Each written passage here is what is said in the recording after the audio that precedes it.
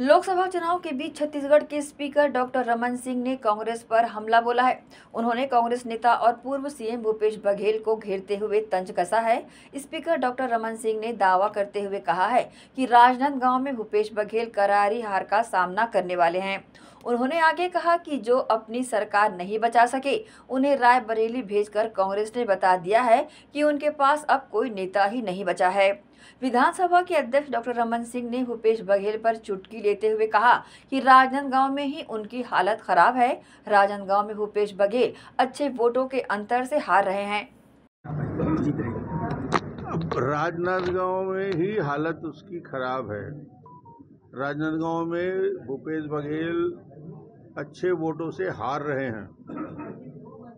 और जो गलतफहमी थी कि मुख्यमंत्री, पूर्व मुख्यमंत्री है, राजनांदगांव में चुनाव लड़ने आए हैं, दुर्ग से सांसद बनेंगे, और राजनांदगांव का इतिहास है, इसके पहले भी पूर्व मुख्यमंत्री को मोतीलाल वोरा जी दुर्ग से आए थे, और राजनांदगांव वालों ने ससम्मान उनको वापस भेजा था।